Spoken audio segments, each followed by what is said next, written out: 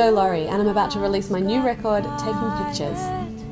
In the fall and a chill hung in the air.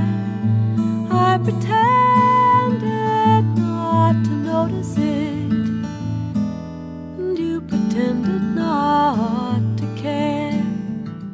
I've been living in New York for a while now, and I've been really lucky to make a bunch of different albums made some by myself, made some with other people, but in some ways this feels like a debut record because it's my first record of all original material. And right from the beginning, it seemed clear to both of us that nothing would be the same.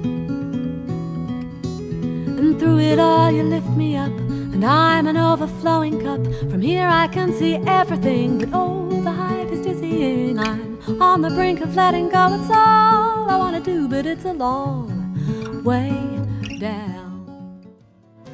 I set your wound upon the wire like so many old cans for target practice. Line them up, ready, aim, and fire. I let the arrows fly. I'm a hopeless perfectionist, so this record has been about two years in the making. I wrote all the songs, I play a lot of the instruments, and this album comes straight from my heart. And you said no.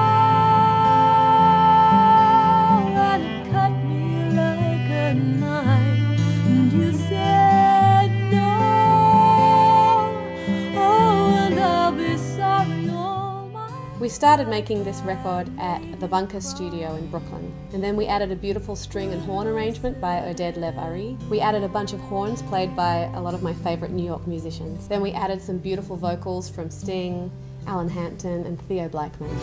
There's a purity about Jo Lawry's voice that I, you know, I, I find it hard to define, but it's very pure. It fits with mine perfectly. So I've been really lucky to have been working with Sting for the last five years and when it came time to make this record he was kind enough to offer to join me on a duet.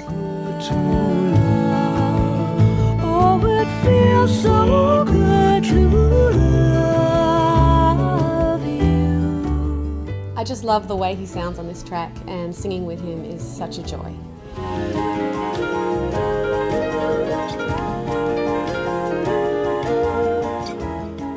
Just so excited to kick this baby out of the nest and share the album with the world.